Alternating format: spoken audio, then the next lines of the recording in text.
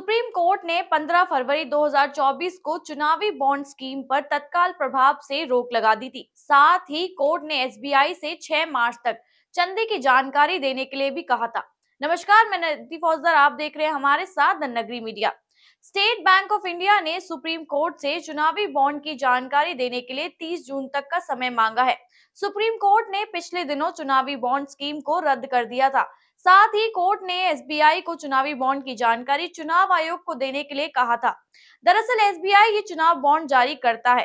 CGI की bench ने 15 फरवरी 2024 को चुनाव बॉन्ड स्कीम से अनकॉन्स्टिट्यूशनल और आरटीआई उल्लेखन करार देते हुए तत्काल प्रभाव से रोक लगा दी थी। सीजीआई की अध्यक्षता वाले पाँच जजों की बेंच ने एसबीआई को अप्रैल 2019 में अब तक मिले चंदे की जानकारी 6 मार्च तक चुनाव आयोग को देने के लिए कहा था।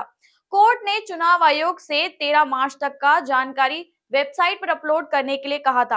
लाइव लॉ की रिपोर्ट के मुताबिक एसबीआई ने अपनी आवेदन में कोर्ट से कहा है कि 12 अप्रैल 2019 से लेकर 15 फरवरी 2024 तक विभिन्न पार्टियों को चंदे के लिए 22,217 चुनावी बॉन्ड जारी किए गए थे। इसमें बताया जा रहा है कि बॉन्ड को प्रत्येक चरण के आखिरी में अधिकृत शाखाओं द्वारा सीलबंद लिफाफे में मुंबई मुख्य शाखा में जमा करवाया जाएगा। एसबीआई ने कहा है कि दोनों सूचना साइकिलों की जानकारी इकट्ठा करने के लिए 44,474 सीटों को रिकॉर्ड किया जाएगा।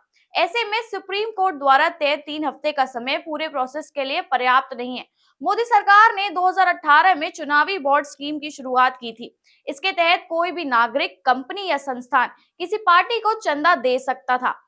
ये बॉन्ड हज़ार, दस हज़ार, एक लाख और एक करोड़ रुपए तक के हो सकते थे। खास बात यह कि बॉन्ड में चंदा देने वालों का नाम नहीं लिखा जाता है।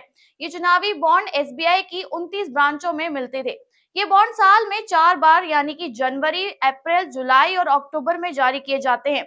इसे ग्राहक की शाखा में उसकी वेबसाइट पर या ऑनलाइन खरीदा जा सकता है। आज के लिए बस इतना ही। ऐसी न्यूज़ अपडेट्स के लिए बने रही हमारे चैनल द नगरी मीडिया के साथ। धन्यवाद।